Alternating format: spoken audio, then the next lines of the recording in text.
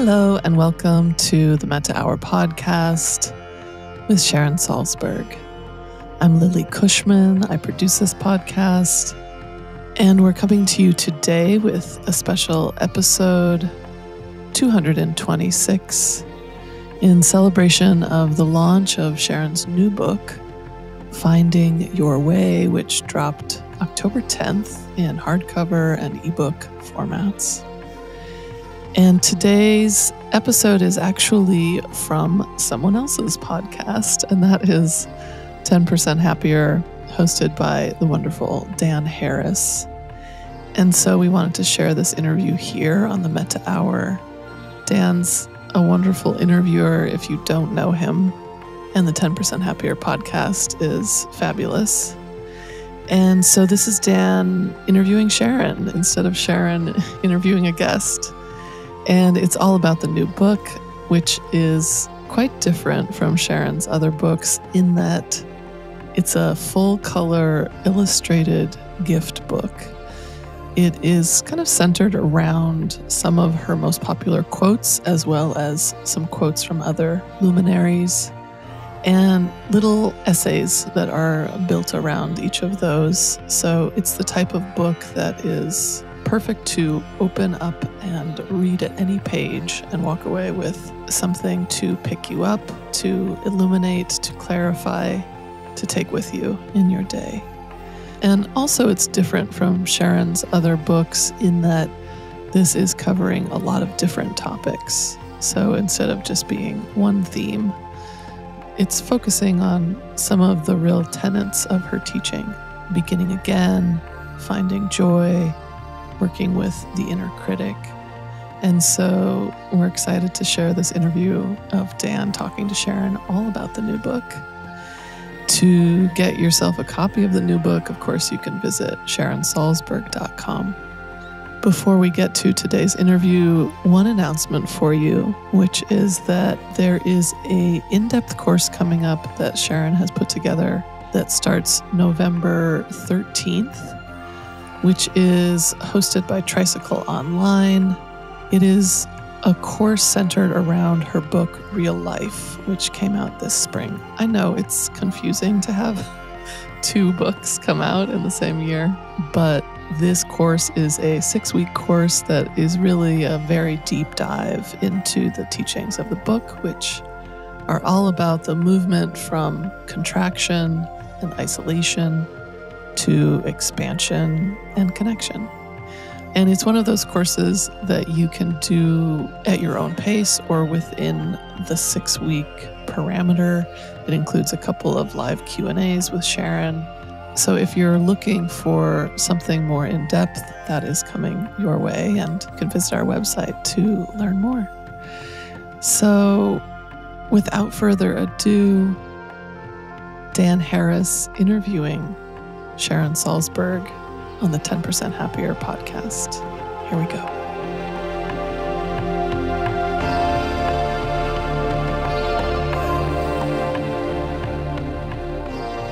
Sharon Salzberg, my friend, my teacher, welcome back to the show.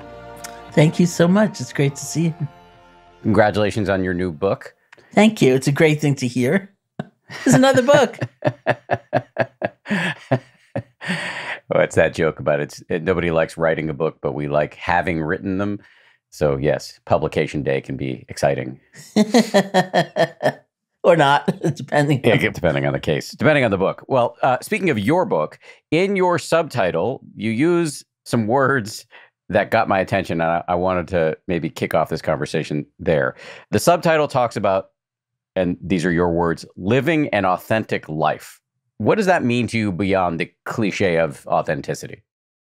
Well, I wrote the book in the height of my isolation due to the pandemic. And so the question of an authentic life was very strong for me. You know, like everything I expected was not the case. I wasn't in New York, I was in Barre, I wasn't traveling, I wasn't teaching my normal schedule or anything approaching it. I wasn't teaching at all, except virtually. Life became virtual. And if I saw anybody, they were masked, they were distanced, and usually recording me for something else.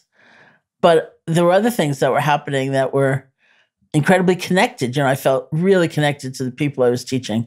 People writing in the chats were so touching, they were so vulnerable about their situation and how lonely they were. And I felt internationally connected all at once.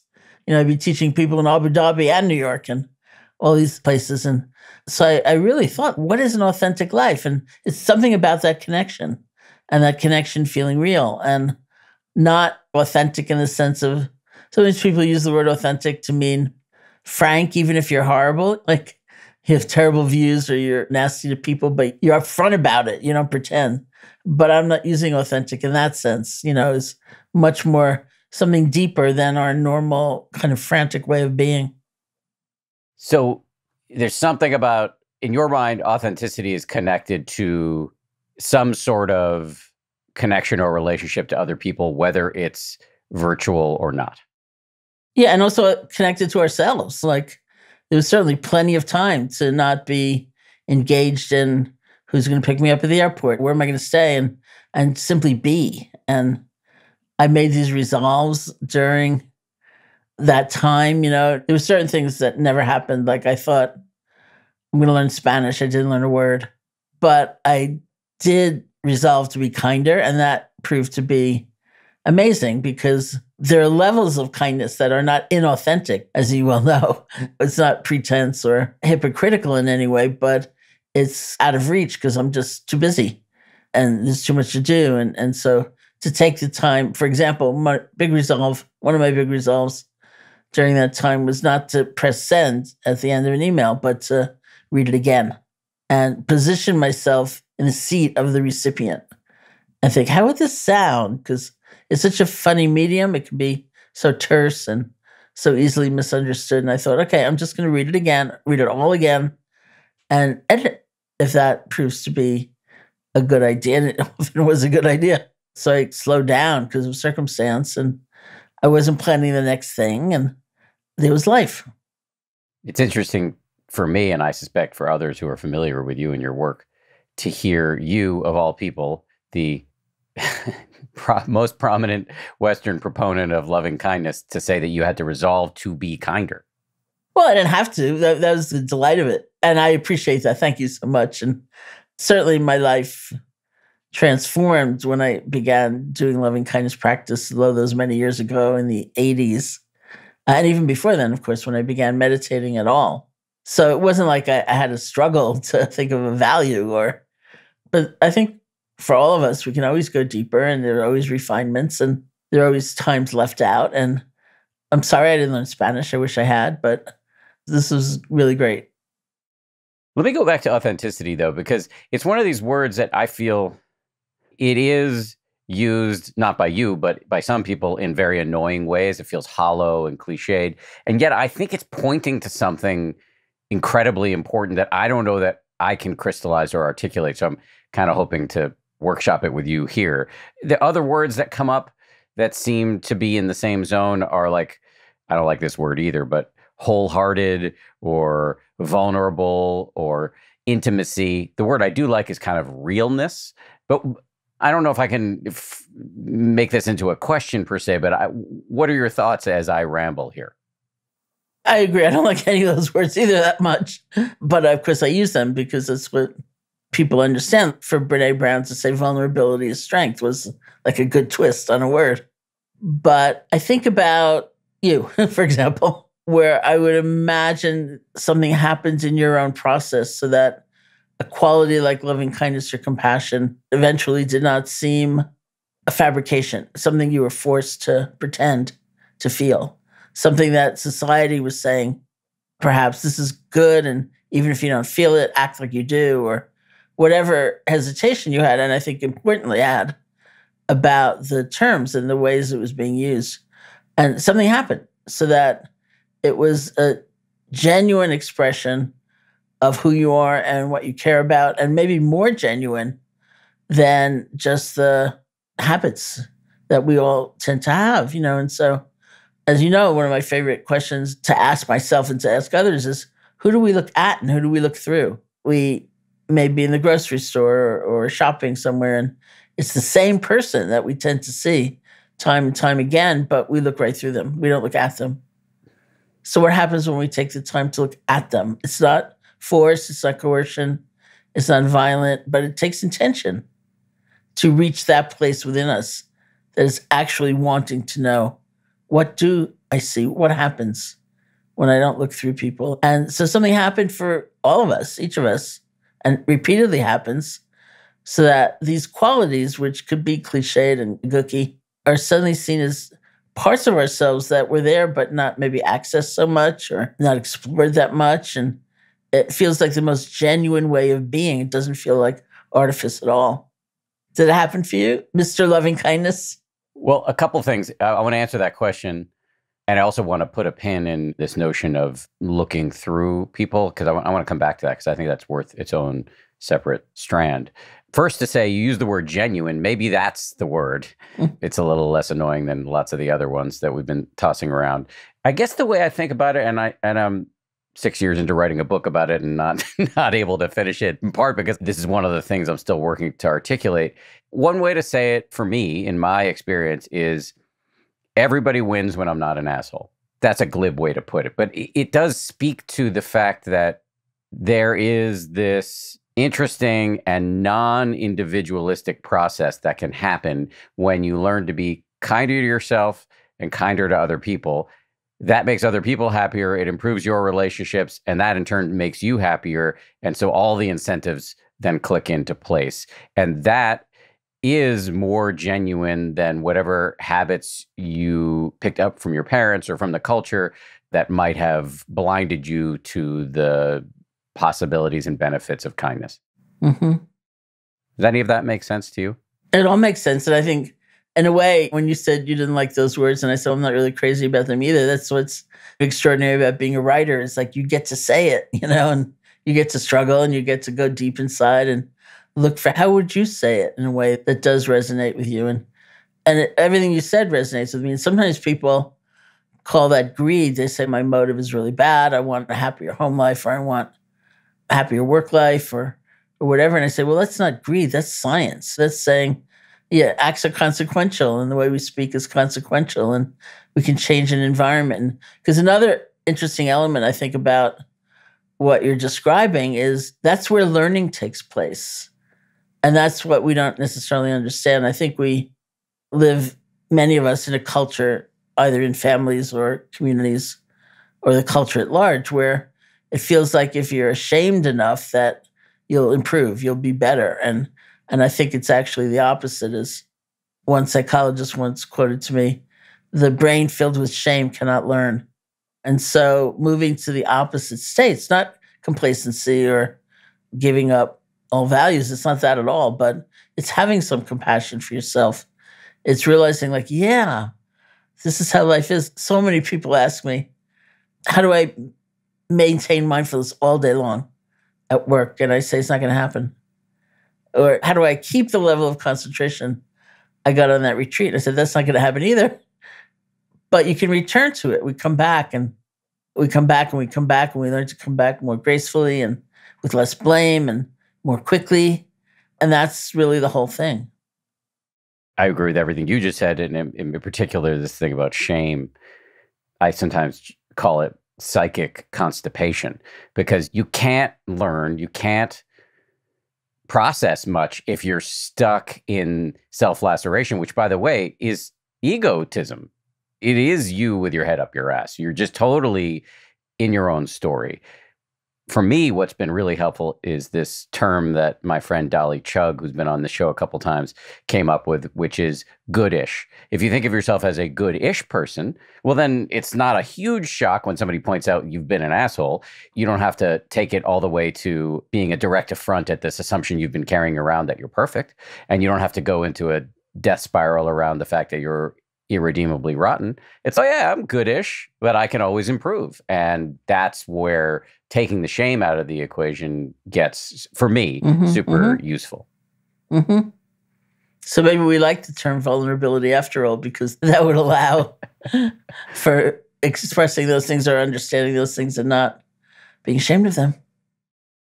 Yeah, well, I certainly like the concept. I don't know if I like the term, but there's I think there's something incredibly powerful here and it does bring me back to genuineness and this phrase that I often talk about and think about or at least this is my understanding from Tibetan, the word for enlightenment is a clearing away and a bringing forth.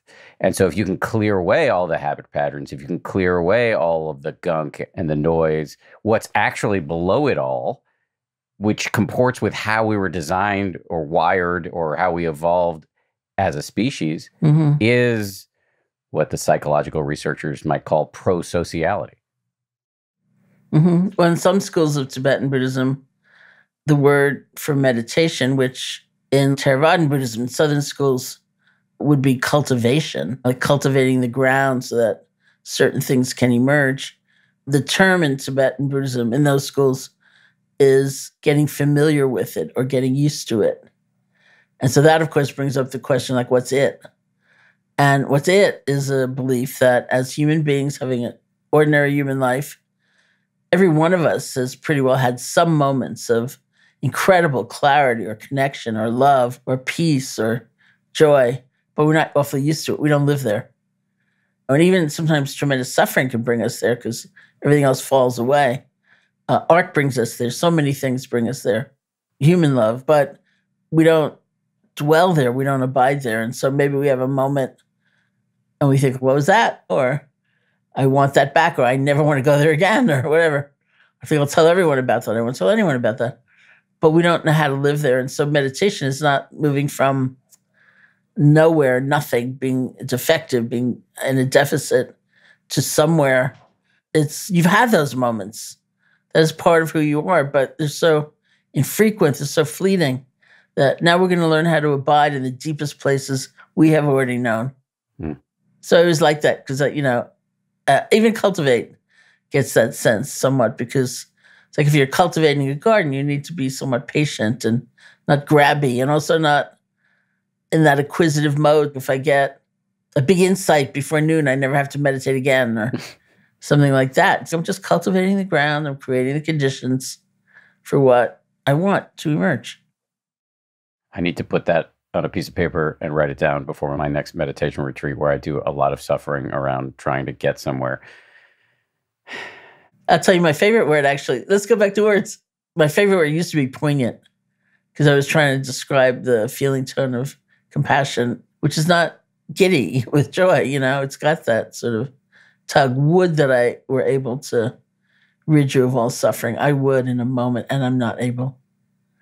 But now my favorite word is emergent. Seeing that all these things, insight, love, connection, they're like emergent properties out of how we pay attention.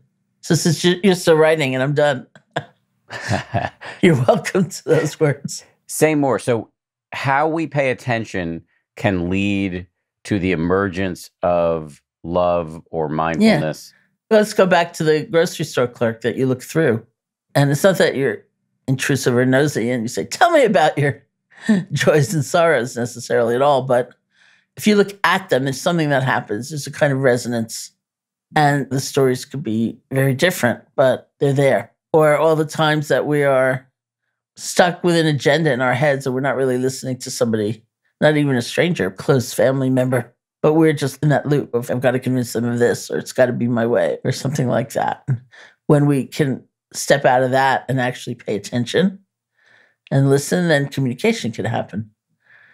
So I think quite a bit depends on how we pay attention.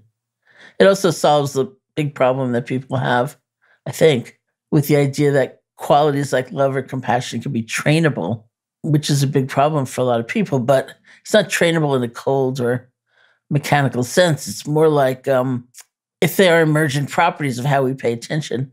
We know attention is trainable because that's exactly what meditation practice is. How do we pay attention? Who do we pay attention to? What do we pay attention to? Is it only the negative, for example?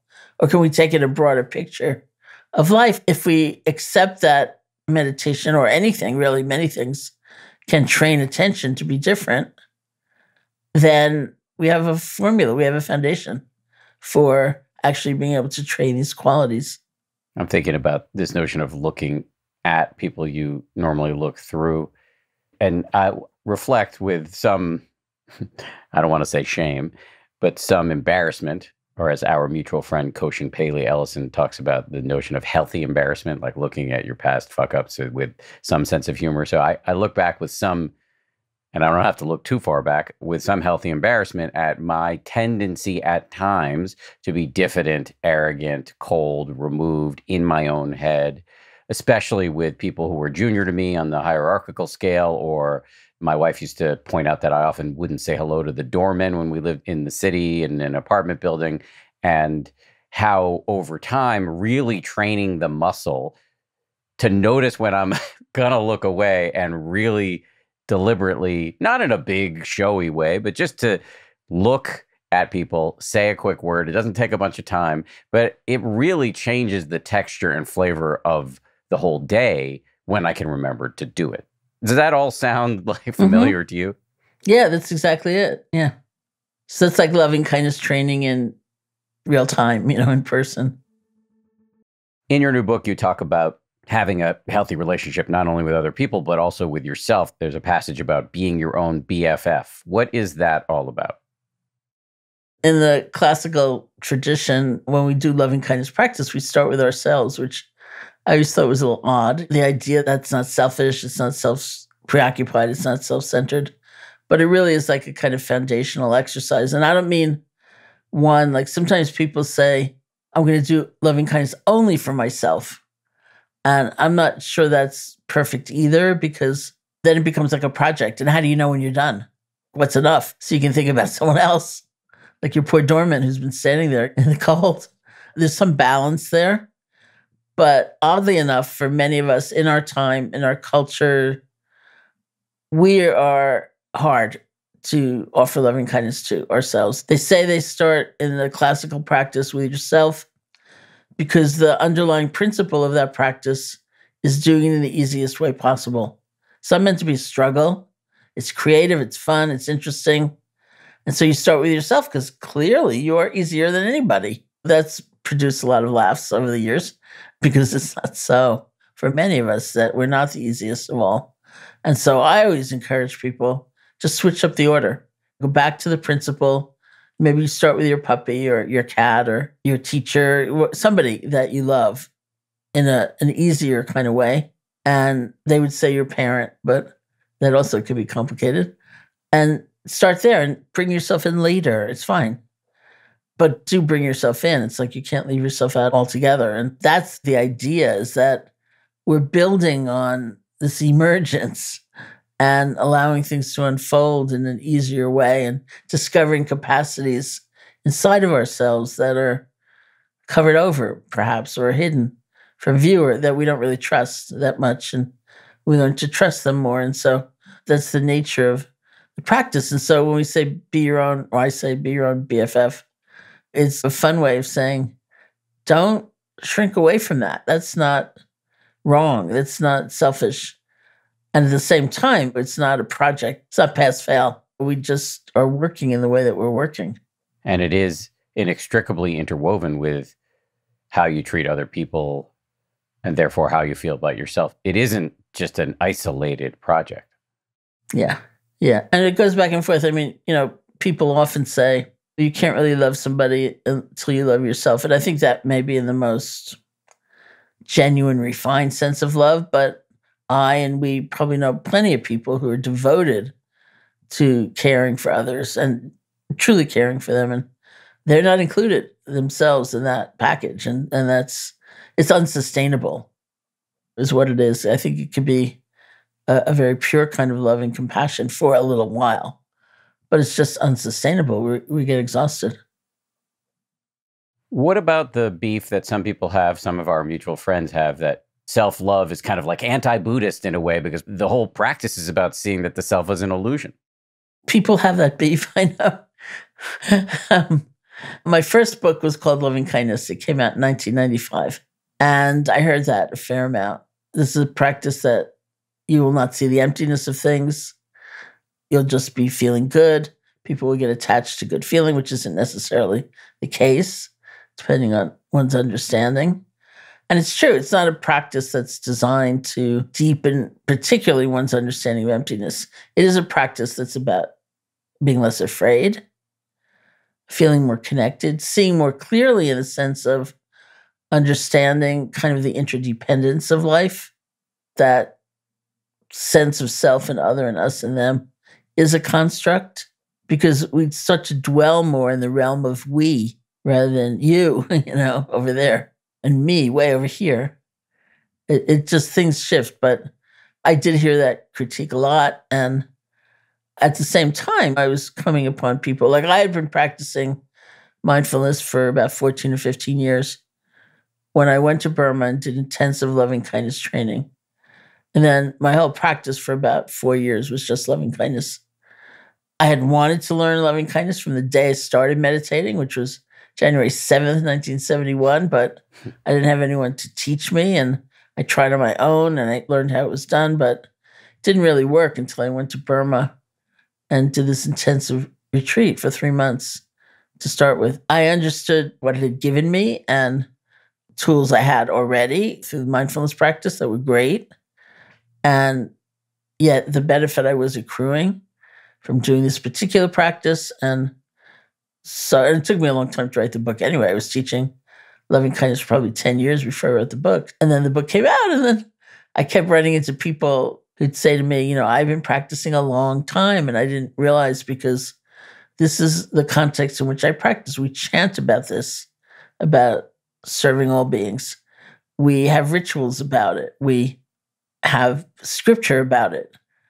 But I actually didn't know how to train or embellish or enhance that quality in myself. And here it is. And it's not mine. I was just taking what I had learned and putting it in book form and putting it out there. And I'm so glad that I did. And there was that commentary. Yes, you could say it's not going to help you necessarily understand the truth of emptiness, but if emptiness is the truth, anything we do that brings us closer to the truth, including serving a meal to an elderly person and listening to them, having a conversation with them, anything we do that brings us closer to the truth is going to bring us closer to that. Also, emptiness doesn't mean hollowness, to use your word.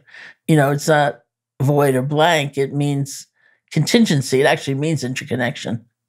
There's that angle in which we are actually enhancing that understanding. And I say practice is all of life, and life is practice. And so it's going to have different emphasis and different methodologies at different times. And you could also say that there are two different levels. There's the absolute level, in which case you're using words like you, may you be happy, that don't make sense. But the Buddha also spoke in terms of relative truth. He didn't say, you psychophysical bundle of aggregates over there, sit here.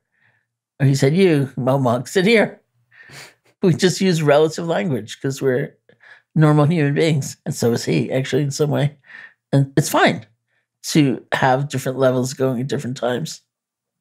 Let me see if I can just like any good FM DJ, go back and back announce some of the tracks that were just played there. I just want to make sure that people listening understand some of the key terms you were using. So let me try to see if I can define them. And then you, as my teacher, can correct me where I go wrong. Emptiness, we could do a whole series of podcasts on emptiness, but one way to understand it is that the world may look solid to you, may look like reality is one continuous movie, but like any film, it's actually 24 frames per second.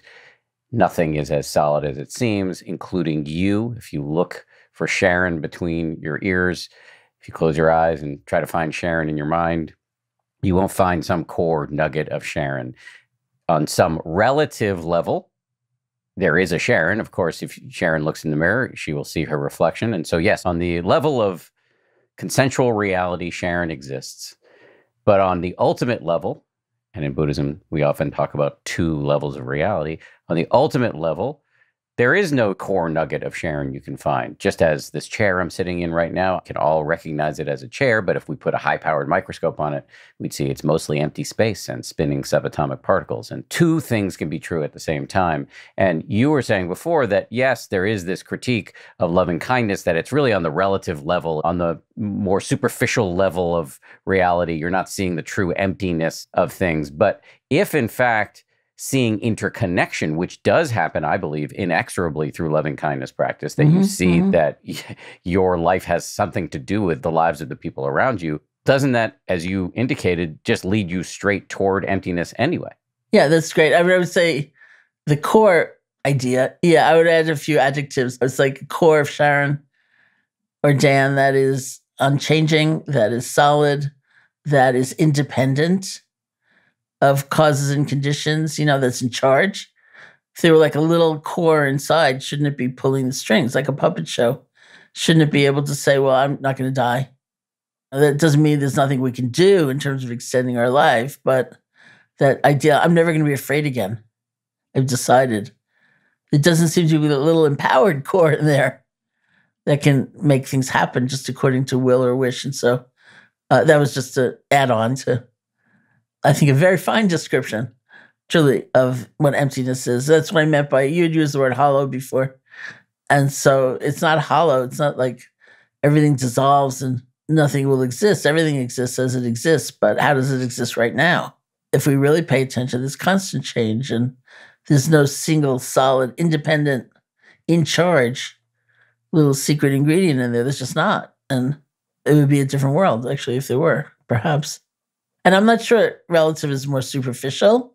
It's different. It's how things work. The more ultimate level would be dealing very directly with this idea of that solid, impermeable, unchanging, independent self, which is just not there. And what's our experience when that misconception dissolves and we see things more the way that they are? Then we do see interconnection. And because everything's still happening, it's not like the world disappears.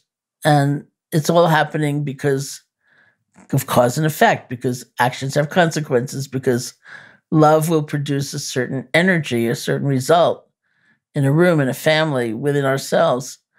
Hatred and perpetual hatred and chronic hatred will produce a different kind of energy and a different atmosphere, and it's a different place to work. That's what's going around all the time. And so that's the relative. It's what we face all the time as we look at how things are connected. Coming up, Sharon talks about the line between love and attachment, the challenge of uh, receiving other people's generosity, and the particular issue she is personally working on in her own practice.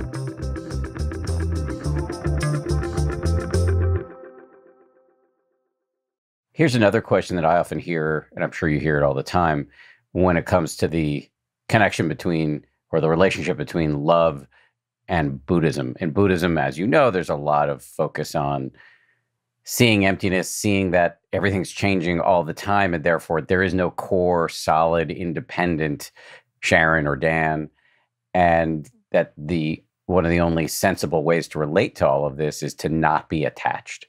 If I cling too hard to things that will not last, I am bound to suffer.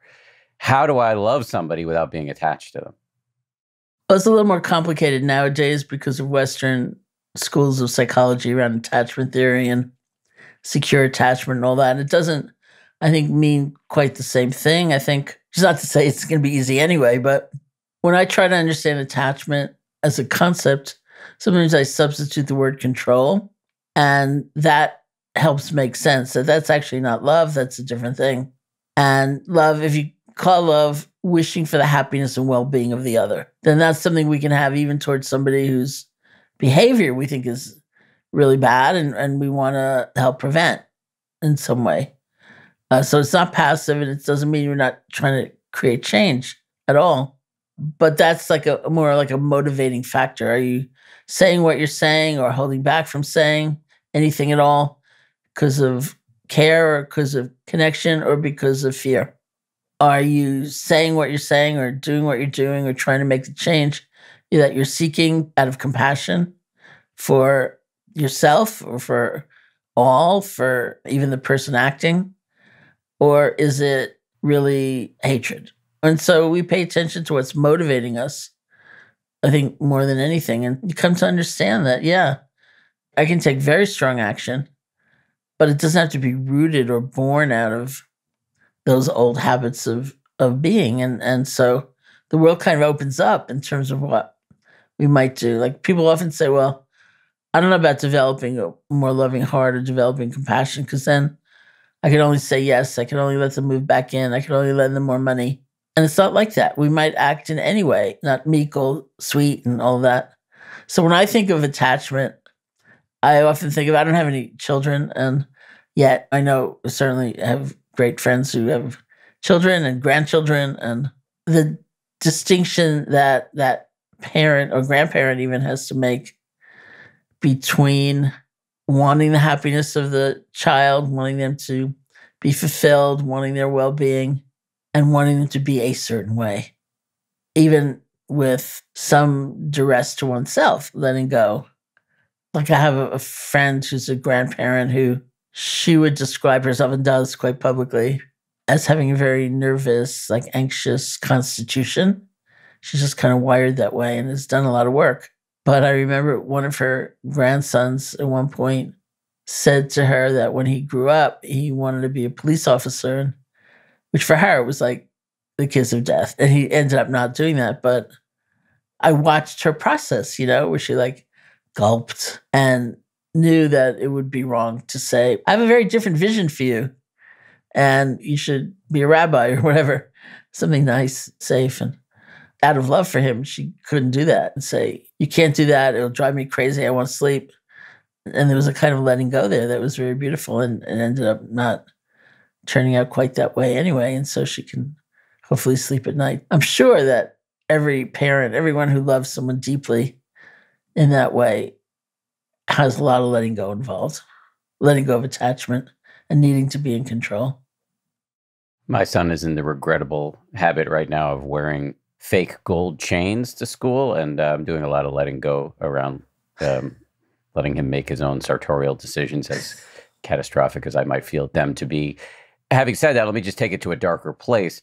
What about when you lose somebody that you really love? Do you mourn? Yeah, of course. That I think that's a question a lot of people have. Yeah, I think you mourn during the height of the pandemic when I was teaching so much and apparently saying some of the same things over and over again. People got to making me cups and sending them to me with some of those sayings. Like this one says, banging your head against the wall is never fun, which apparently I said a good deal. And one of them was something's just hurt.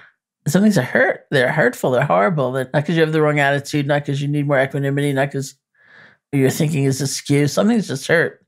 There are terrible things to live through. And what we don't need is extra suffering. That's different than the idea that I should be in some sublime state about this. Because the extra suffering would be like we feel the pain and we add a kind of misconstrued sense of isolation. I'm the only one who has ever felt or will ever feel this kind of pain, or this is blameworthy. I should have said, or they should have done. And we more see things in the light of wisdom, and yet they hurt. They say the Buddha, when his two chief disciples died within, I think, two weeks of one another, he said at one point in a discourse, it's like the sun and the moon have left the sky. So he wasn't saying like, I'm really cool. I got this. People die. It's the nature of things. But one senses he knew people die. And that that kind of protestation of life should not include that. That didn't have to be there. That's extra. Life does include that. On top of that, we have very strange cultural accretions around death and dying. And so not only do we have the existential pain of it all, but we have whatever we've inherited and so it's a lot of challenge. I would say I was coming to a state of pure mourning in that bereavement. There are a couple of analogies that sometimes get used here that might be helpful illuminating things. One, this is a little bit more uh, tongue in cheek, but I heard this from a mutual friend of ours, Dr. Mark Epstein, when I was asking what was it like for the Buddha when he lost a friend or stubbed a toe or whatever, dealt with the same traumas and indignities that we all deal with. And he said he imagined that it would be like getting punched in the face, but after having received a dose of heroin, that it would still hurt, but might hurt significantly less. That is not an endorsement of heroin. The other analogy that's a little bit more fit for public consumption is, and this is easier to see rather than to hear, but if you imagine your palm with an open fist you can put anybody you love there and you're holding them, but you're not grasping them as opposed to when you clench your fist. Mm. So I can love my son and know that, like everything else in the universe, he's temporary. Mm-hmm. Yeah, which is a reflection people do. He's temporary for sure, because that's the nature of life. And just notice that doesn't diminish the love. If anything, if we have that kind of consciousness, it should make it more piercing in a way. Yeah. Poignant, even. Yeah. Poignant. Back to that. last thing I want to ask you about from your book is the difficulty many of us have in receiving generosity. Can you describe that phenomenon? And I'd be curious whether it's true for you. I say it's true for me, but not as true as I've observed in some other people. Um, Because my big model for that was actually Ram Dass, who was at my first retreat in January 1971 as a student he'd already been to India and was Ram Dass, not Richard Alpert. He'd already been fired from Harvard. He'd come back to India to see his guru. And I'd known him for a really long time and we were good friends and this group of us. And, and he was the kind of person, he was a helper, he was a giver. He was the first person I knew working with dying people. He was the first person I knew working with prisoners. He was the first person I knew working with homeless people and kept taking his spiritual practice out into the world. And he was also he was a curmudgeon, and you couldn't thank him for anything. You couldn't even give him a birthday present. It was just his way. And and then you know, of course, he had this massive stroke and lived in a wheelchair for the last I don't know 15, 18 years of his life as a public speaker, which had really been his magic. And you know, he had aphasia. There would be long silences, and if you were speaking with him, and you'd be sitting up on that stage and you knew just what he wanted to say, and you couldn't say it because you knew he had to find the word himself. And he said once he was teaching, he said, the hardest thing of all with the stroke, harder than physical pain, harder than living in a wheelchair, harder than all this change in, in speech has been being able to receive. He said it was the hardest thing of all and it was the most liberating. Hmm.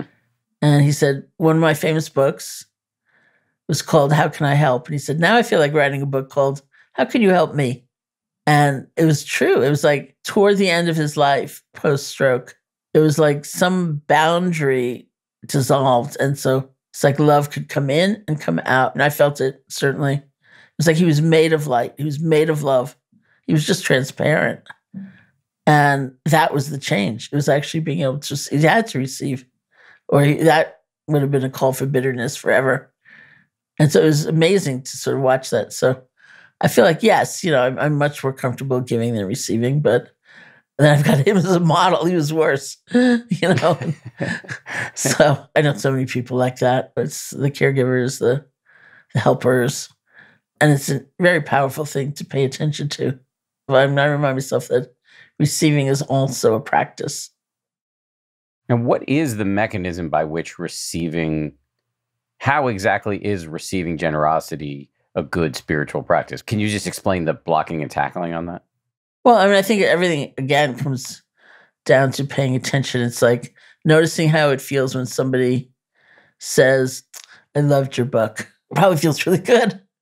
But there might be some part in there that's saying, I wish I had more time and I, I might have, I would have done it even better.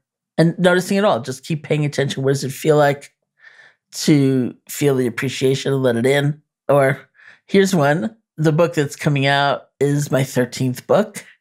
And with my 12th book, which also came out this year, I've been so incredibly grateful when anyone has said that it meant a lot to them and they thought it was really good because I thought it's so easy to imagine your 12th book. It's like people saying she should have stopped at number eight. Like she's saying the same thing over and over again. There's not that much to say. It's all like a body of knowledge. So I felt incredibly grateful, but I can imagine falling into the space, which I have not. Like number 13, will there ever be a 14? I have nothing left to say ever. I might have that thought, but I know it's just a thought. But to fall into that and think, I'm done, I can't do it, it's all over, would also be easy. And you, you don't want that. But should that happen, just keep paying attention. What does it feel like? to have that sense of hopelessness. I'm done. What does it feel like to think, well, if something inspires me, I'm just going to write. It doesn't have to be for publication. I'm going to see where it goes. What does it feel like to determine on bringing creativity into your everyday some way? What does it feel like when someone doesn't like your book? And just always pay attention to that. That's really using it as a practice because you begin to see, you just begin to see the nuance. Here is a place I felt like I needed to be in control and I couldn't control. I mean, that's the thing about public presentation of creativity, right? You can't demand that everybody likes it. This is what it feels like to not be in control.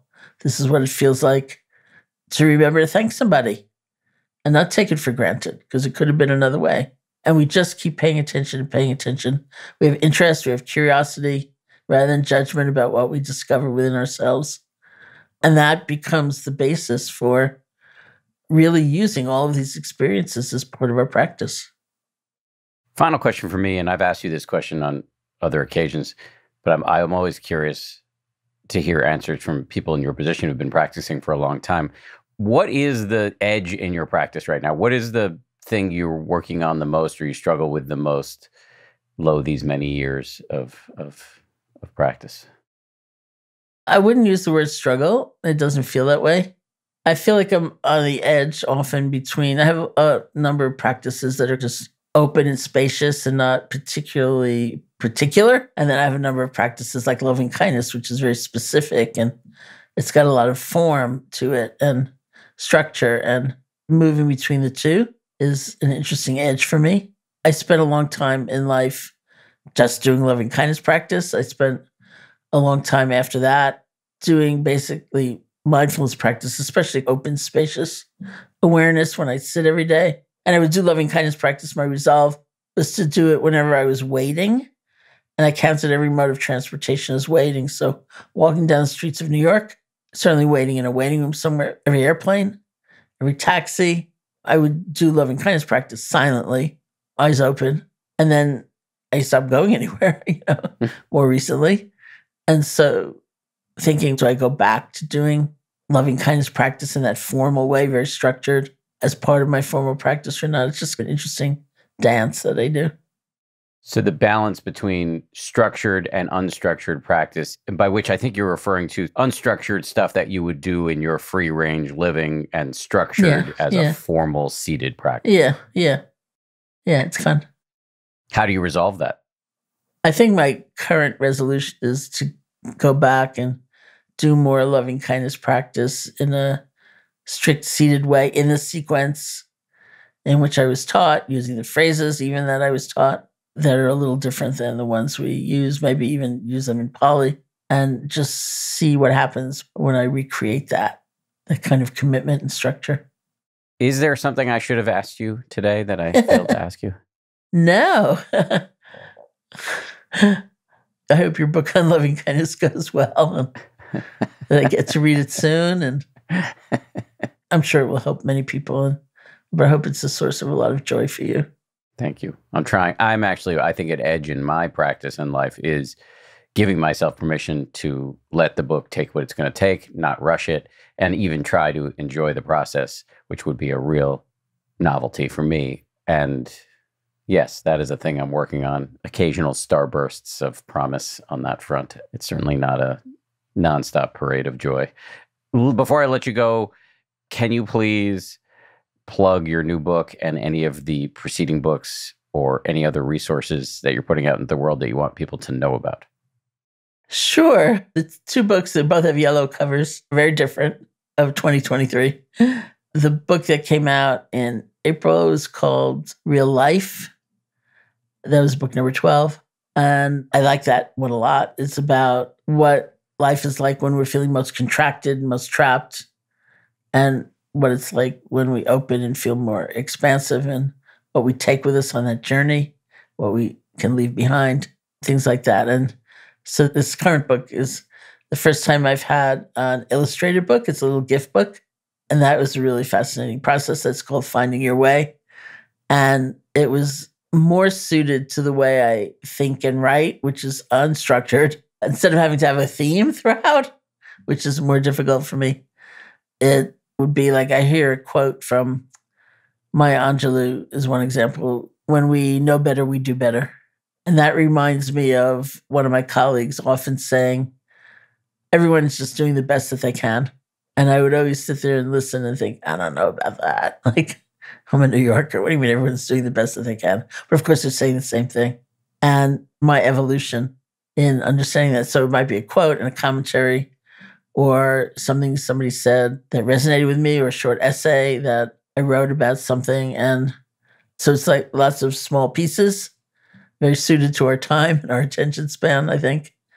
And then it was just so cool to be illustrated in those ways as well. So I really appreciate this forthcoming book as well. I think it is really suited to how we learn these days and how we take in things. And yeah, they both have yellow covers. As I said, it's my yellow period. well, congratulations. And thank you Thank you. for this book, the preceding book, and all the preceding books. Thanks you for all of your teaching. Thanks for being such a great friend. Um, and thanks for coming on the show today. Thank you so much.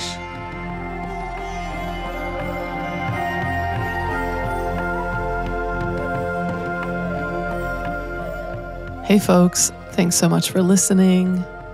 If you'd like to learn more about the 10% Happier podcast or app, you can visit 10%.com. That's T E N P E R S E N T.com. And for any of Sharon's ongoing teachings, online courses, or books, you can visit her website at sharonsalzberg.com. This has been the Metta Hour podcast from the Be Here Now Network. May you be safe, may you be happy, may you be healthy, and may you live with ease.